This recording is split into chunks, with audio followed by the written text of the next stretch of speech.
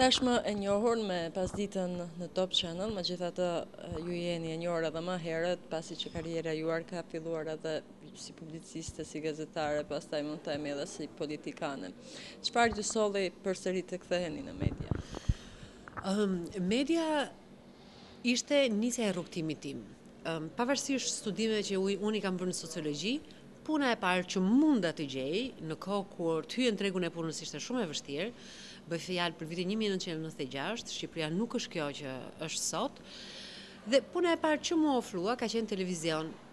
Televizionin shqiptar, edhe falë disa miqësive në atë kohë, të cilët më në një farë mënyre krijuan ambient për mua që të kisha mundësi të merja disa përvoja, përvojat e para. Pastaj vazhdova në Tele Arbëria, që ka qenë televizion lider atëherë, privat në Shqipëri, televizionin Klan, pak.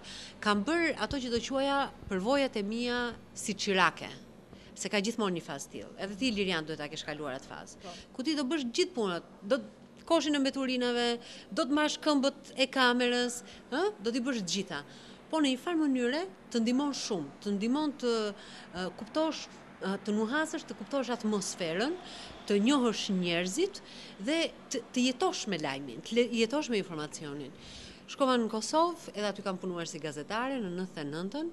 Uh, unë jam gjakovare nga të dy prindërit, e lindur në Tiranë. Dhe vazhdova me median.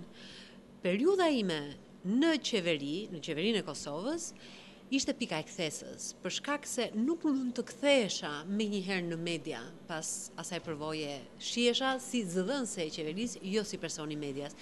M'u desh të kaloja përmes marrëdhënieve me publikun, Komisionin Europian, përmes analizës si publiciste, dhe sot të rikthehem në televizion, në një televizion i cili di të punojë mirë, duhet thënë se është shumë e rëndësishme që televizioni të të kënaqë për cilësinë që ofron. Megjithatë, keni hasur edhe në vështirësi. Sa është e vështirë të jesh, për shembull, një gazetare në përgjithësi? Ëm të jesh një person i cili bën mirë detyrën e vet, pra të synosh ekselencën, është e vështirë Të jesh gazetare, të jesh ekonomiste, të jesh juriste, për të shkëlqyer në ambientin tënd është gjithmonë shumë e mundimshme. Shumë e vështirë, kërkon shumë këmbgulje, kërkon shumë këmbgulje. Puna e gazetares është e tillë që e gazetarisë, e medias është e tillë që në të njëjtën kohë të vë, ka ka shumë presion, ka presion edhe të gjykimit të publikut për atë që ti je duke bërë.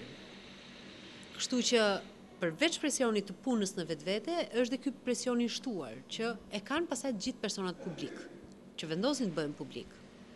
Gjithmonë populli apo publiku shikon që puna e një gazetarit është një punë e lehtë, do të thotë ose dhe puna e një moderatori të ulet aty në karrige dhe vetëm flet. Çfarë mendoni? A është perceptim i gabuar, do të thoja. Unë kam një emision të përditshëm, i cili varion nga armët kimike të Sirisë, tek vrasje në shkollë, tek receta gatimi, tek intervistë me personalitete të shkencës, të artit, Unë e kam të domosdoshme që të jem e mirëinformuar për secilën nga subjektet që i trajtoj. Mund të përdor vetëm dhjetë për qind të njohurive që i kam, por unë duhet të di gjithçka lidhur me atë gjë. Duhet të lexosh lajmet vazhdimisht, të jesh në komunikim me njerëz, që të marrësh informacion prej tyre, duhet të gjesh burimet e tua të frymëzimit, që është parja e filmave, e ekspozitave, e shfaqjeve teatrale, koncertale. Pra është një jetë jashtëzakonisht aktive. Do të thotë për çdo ditë të mbash një emision është edhe një punë e lodhshme sepse duhet të ketë edhe një përgatitje jashtëzakonisht e madhe sa sa kohë ju merr. Është shumë e vështirë sepse të gjithëve u ndodh që për shembull ndihen nuk ndihen mirë, ju e shikoni që unë jam e bllokuar momentalisht dhe kam gjithë javën që punoj në një mënyrë të tillë, megjithëse jam e ftohur, kam pasur dhe temperaturë, dhe dikush tjetër do t'i thoshte personit përgjegjës në punë, nuk vij sot në punë, do të marr pushim. Unë nuk marr, ne që bëjmë emisione të përditshme, nuk ka pushim për ne. Ne nuk kemi të drejtën që të zgjohemi në mëngjes, nuk ndihesh mirë dhe t'i thuash shefit tënd, shefes, uh, kujtdo qoftë, nuk vij sot në punë. Çfarë do të thotë kjo? Domethënë, je i ftohur, të ka ndodhur një problem personal, ti do ta mbulosh të gjithën, këtë je e detyruar dhe të përpiqesh të ruash konsistencën. Pra, në mënyrë të qëndrueshme, siç ke dalë ditën e hënë, të jesh dhe të premten. Edhe kur je pa gjumë, edhe kur ke shqetësime. Në emision trajton tema të ndryshme, shohim edhe profile të ndryshëm. Megjithatë cili, cili ka qenë ai profili më i mirë dhe me të cilën jeni ndjerë gjatë emisionit? Pyetje shumë e bukur, Ilirjana, duket që ke vite përvojë. um, është e vërtetë që kur ti bën një emision uh, dhe ke vite që punon, unë Tani më janë bërë dyqind e shtatëdhjetë emisione, vetëm në një vit e gjysë. Imagjino, deri në fund të sezonit do të shkojë në katërqind numri. Pra janë, të themi, sa dhjetë vite punë të një gazetari që punon një emision të përjavshëm. Ky është intensiteti. Ka njerëz që të frymëzojnë, ka njerëz, është e rëndësishme dhe kimia që krijohet, që kuptueshmëria me personin që vjen aty. Disa kanë një përshtatje të menjëhershme, disa e kanë shumë të vështirë, u duhet shumë kohë që të hyjnë në në temë. Më ka bërë përshtypje për shembull, më kanë prekur personalisht dhe e kam të ruajtur ëm um, një tufë lulesh dhe një letër që më kanë sjellë Fëmijët e Spitalit Onkologjik të Tiranës. Unë nuk e prisja atë gjë. Ëm Ata janë të sëmurë me kancer. Nuk kanë medikamente. Ti nuk e di nëse do jetojnë. Megjithatë, ata gjejnë kurajën të sjellin ty një tufë me lule. Sa e bukur është kjo. Patjetër, pasi që shpresa gjithmonë thonë vdes e fundit. Po, pikërisht. Natyrisht, ajo që ti do të bësh është së pari të urosh që ata të shërohen. E dyta, t'i bërtasësh këtij shteti që nuk ua siguron mjet, mjekimet që u duhen, që janë domozdoshme, që ata të kenë mundësi, sepse sot nuk ka më sëmundje të pashërueshme. Ka sëmundje që po u kap në kohën e duhur, po pati mjekimin e duhur, shërohet. Uh, atëherë ta kalojmë këtë po, po. këtë emocion pasi që ju kemi pas kemi pas rast t'ju shohim edhe me në një pasdite e cila ishte mjaft e veçantë por edhe shumë e dhimbshme me vrasjen e po, e nxënësit. Ju e tejkaluat atë me Kjo është për mua ka qenë një lodhje shumë e madhe emocionale ajo ditë. Më bëri më bën shumë përshtypje, duket që je je një person me përvojë. Se uh, ishte e mundimshme se duhet kaloja nga ajo ngjarje dramatike dhe që më kishte lënë gjurmë që nga mëngjesi, duhet kaloja të bëja humor me një aktor humori vetëm pas 30 sekondash. Po çdo punë ka vështirësitë e veta. E rëndësishme është që publikut nga ekrani do më vinte shumë mirë nëse ata nuk e kuptojnë punën time si të mundimshme. Kjo do të thotë që ata po argëtohen, po kalojnë mirë, ose janë duke reflektuar në atë moment, varësisht nga ngjarja që trajtojmë. Por, mua më pëlqejnë njerëzit që të vështirën e bëjnë të thjeshtë. Se ka dhe nga ata njerëz që të thjeshtën ta bëjnë shumë të vështirë. E ke vënë re? Edhe shumë e pakëndshme të jesh afër atyre, atyre njerëzve. Imagjino kur janë dhe vendimmarrës, sa e vështirë që është. Megjithatë, gjatë emisioneve keni biseda të ndryshme, pastaj shihen edhe reportazhe të tjera të cilët pikërisht flasin për ata mysafirë apo të ftuar të cilët i keni në studio. Gjithsesi, keni hasur ndonjëherë në pengesa me bashkëbisedues? Po. Ka pasur situata të tilla, do t'ju besoj një moment. Ëm, ishte një rasti i 100 vjetorit të policisë shqiptare. Dhe keni parasysh, Ju e ndiqni, e keni ndjekur herë mas herë se ju punoni shumë dhe nuk keni mundësi ta ndiqni atë rregullisht, po ndonjëherë, dhe e keni parë që është e stroktur, strukturuar në dy pjesë emisioni. Një pjesë e parë që është gjysmë ore dhe një pjesë e dytë që është gjashtëdhjetë minuta. Është i gjatë. Nëntëdhjetë minuta është emisioni. Tani, pjesa e dytë dhe ishte tema për policinë shqiptare, kishim ishin përgatitur insertet nga gazetari, se unë kam ekip, duhet thënë kjo gjë, po mund të flasim për këtë pak më vonë. Dhe gazetari kishte përgatitur insertet, i kishin dalë bukur, ndërkohë që nuk e dinim kush do të ishin të ftuar, sepse në rastin e strukturave të tilla që janë të rendit, nuk është ajo çështje voluntarizmi. Kam qejf unë dhe vij, nuk kontakton dot individin. Kontakton strukturën dhe ata dërgojnë individin. Dhe më dërgojnë dy veta, dy persona. Njëri fliste, tjetri nuk fliste. Dhe ai që fliste, kishte zona ku nuk mund të fliste, sepse ishte urdhri që kishte marrë, janë pjesë të sekretit shtetëror, ose të informacioneve konfidenciale që nuk i zbulon dot. Unë në fund të atij emisioni, duhet të ketë qenë janar, Kam qenë gjithë djersë, Ilirjana, nga sikleti. Dhe më tregonin tani autori e emisionit, regjizori dhe stafi që ishin, të gjithë në ankth, i kishte kapur ankthi, a do ketë më pyetje, si do ta menaxhoj situatën, sepse ishim drejtpërdrejt dhe ishim live. Ajo ka qenë situatë shumë e vështirë për t'u menaxhuar. Gjitha të kam, pas, kam patur rast që shoh edhe me ca goca të cilat merreshin me atletikë më duket dhe njëra prej tyre ishte 9 vjeç apo 10 nuk më kujtohet, e cila ajo kishte oratori shumë të gjatë. Fantastike, e mban mend atë vajzën? Që i thonë në popull, hazërxhevap ishte. Se ka shumë zbulime të kësaj natyre. Për shembull, nuk i ka folur gazetarit, nuk është shprehur me gazetarin, shpërthen në studio. Ndodh që ka folur me gazetarin, me detaje, ngurtësohet në studio. Unë përpiqem që ta çliroj, por është çështje emotiviteti, mundet që S'ka pirë kafe ose ka pirë shumë kafe, është i elektrizuar personi, ka kaluar një natë keqe, një ngjarje i ka ndodhur përpara se të vijë aty, ka një milion elemente psikologjike që ndikojnë në sjelljen e tij në studio. Vetë ne e dimë, ka ditë që unë jam shumë mirë, ka ditë që nuk ndjehem shumë mirë, domethënë, Edhe Por megjithatë përpara Ajo vajza ishte e mrekullueshme. Përpara publikut duhet të jesh gjithmonë Duhet përpiqesh. Duhet përpiqesh. Kështu që ka pasur situata të tilla, ka pas ka pasur plot, pafund ka pasur. Një vajzë, mbaj mend një vajzë ma sollën për për fëmijët, se fëmijët janë të paparashikueshëm. Nuk i instrukton dot fëmijët. Ë ka ndodhur për shembull që dhe unë nuk dua që prindërit e fëmijëve të jenë në studio. shumicën e rasteve sepse gjatë gjithë kohës kërkojnë miratimin e prindit me sy prindërit sot janë shumë obsesivë janë si mund ta bëj krahasimin janë si personi i marrëdhënieve me publikun kur nxjerr një drejtues të institucionit që e kontrollon mos po jep mesazhin e duhur mos po gabon këtu po e thua mirë po e thua sa duhet dhe prindi e vë fëmijën nën këtë lloj presioni dhe ka ndodhur për shembull kanë ardhur fëmijë aty kanë qenë duke parë prindin prindi i ka thënë I ka qeshur, ka folur. Ëh, ka bërë buzë, s'ka ditur si të reagojë, nuk e ka kuptuar se çfarë duhet bëjë në atë moment. Dhe një vajzë që erdhi në studio nuk fliste fare. Po fare, fare, fare, fare. Ishte fëmijë i vogël, duhet nisja emisionin me atë. Mirë, po ka, domethënë dhe e kupton që nuk mund të mbështetësh emisionin tek një fëmijë. Po sidoqoftë janë situata nga më.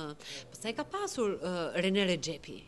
Rene Rexhepi um, e kemi intervistuar për 100 vjetorin e pavarësisë vendit, është um, Shefi më i famshëm i kuzhinës në botë, tre vjet rresht, është shqiptar, shqiptar i Maqedonisë, ai jeton në Kopenhagën, ka një restorant atje Noma, është me famë botërore. Një nga mediat prestigjioze ndërkombëtare The Economist kishte një shkrim të tërë për Rene Rexhepin. Ishte shumë kënaqësi që të bisedoja me të. Ai e kuptonte shqipen, por nuk e fliste shqipen. Kemi pasur personalitete pafund. Së fundmi ishte Roz Dosti.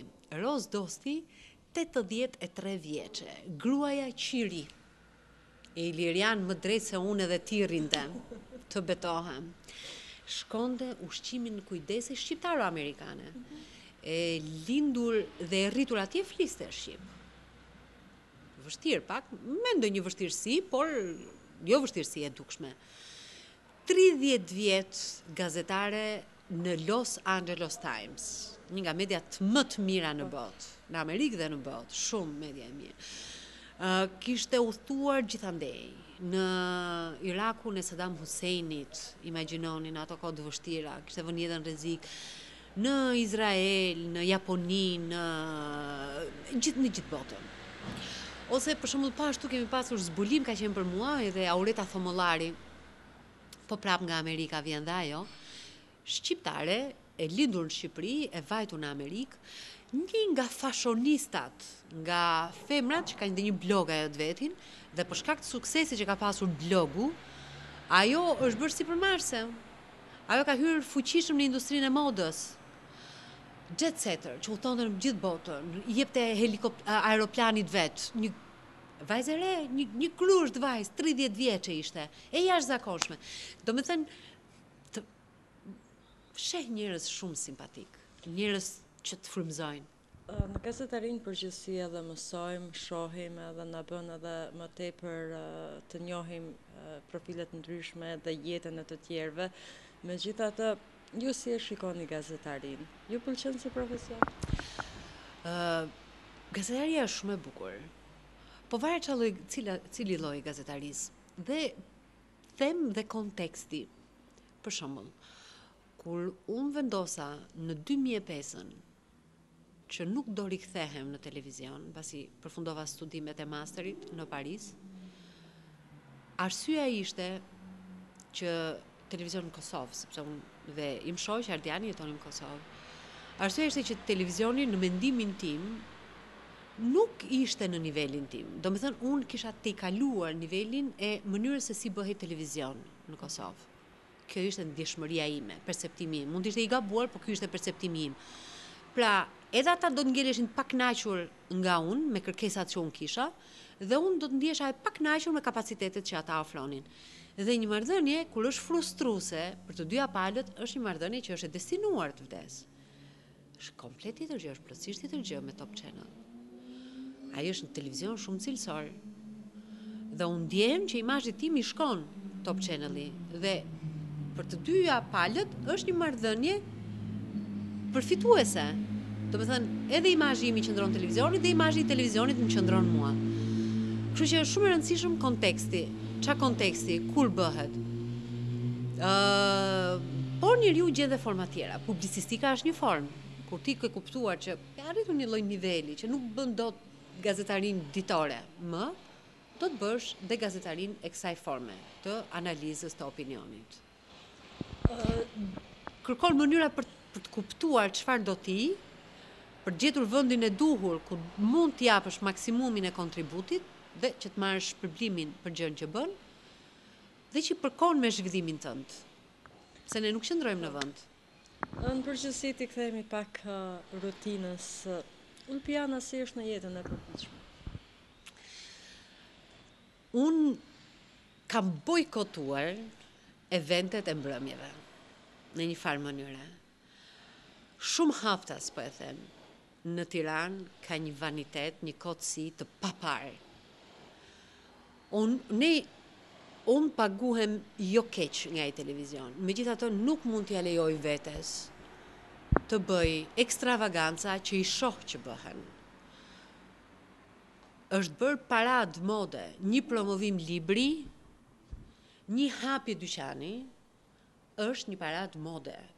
Bëhet dhe rubrika Kush është i veshur më mirë? A thua se po shkon tapetin e kuq? Ky vend i varfër me këto mundësira të kufizuara, me kaq njerëz që vuajnë, unë nuk them që njeriu nuk duhet të kujdeset për veten. Unë kujdesem për veten, se kjo mendoj që është detyrim ndaj krijuesit tonë. për të realizuar potencialin e plotë që kemi në jetë. Po kur kjo dukja bëhet qëllim në vetvete, unë e përçmoj atë gjë.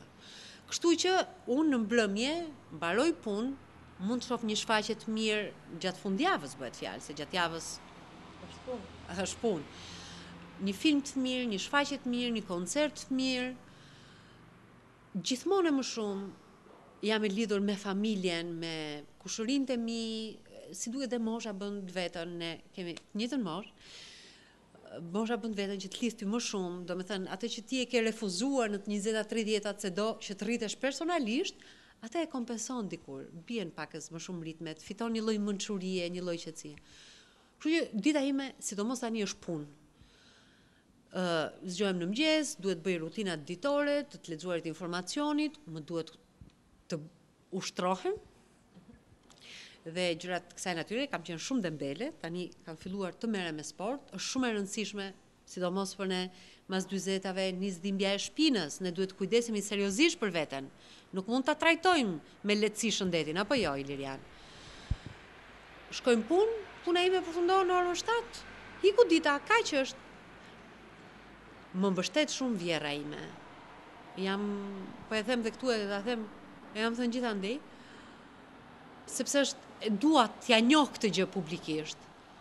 Ajo e kam mbështetëse të jashtëzakonshme. Domethënë, Familja ka qenë mbështetje për mua, nuk ka qenë pengesë asnjëherë. Kam dëgjuar shumë gra që nuk kanë ecur dot përpara sepse i kanë pasur familja, familja, familja është shumë e rëndësishme. Ke mbështetje, ne ecim përpara.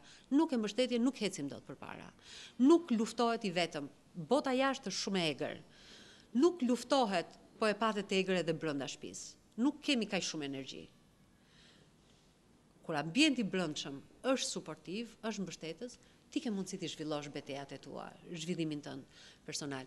Dhe më ka bërë përshtypje, në listën e Forbes të grave më të pushtetshme para disa viteve, nga njëzet e tetë gra, njëzet e gjashtë ishin të martuara, njëra ishte e divorcuar dhe tjetra ishte beqare. Njëzet e gjashtë gratë e martuara thonin që mbështetja kryesore për to kishte qenë bashkëshorti.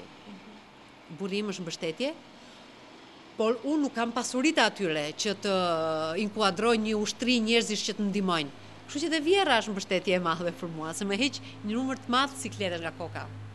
Se për shembull, si është Ulpiana në kuzhinë? Unë gatuaj mirë, unë gatuaj shumë mirë. Që nuk kam kohë fizike të gatuaj, kjo është tjetër gjë përditë, domethënë.